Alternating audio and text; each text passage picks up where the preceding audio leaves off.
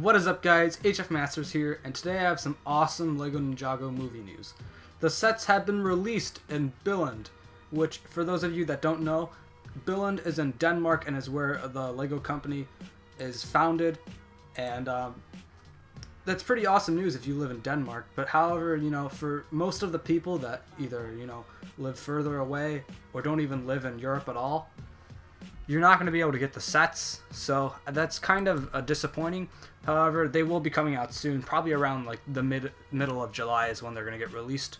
Just make sure you don't go to the stores and start checking at your local like Legoland. They're not going to have them. Uh, also, and one important thing to mention is this uh, Legoland does not have all the sets.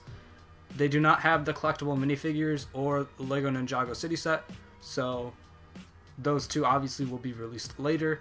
But as it is for now, they have all the just regular sets, so all the way from Spinjitzu Training to the uh, Destiny's Bounty. So if you live in um, Denmark, go ahead, get the sets for uh, the rest of us, you know, we've got to wait, but uh, they'll be out really soon.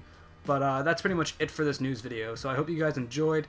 Until next time, this is HF Masters saying goodbye.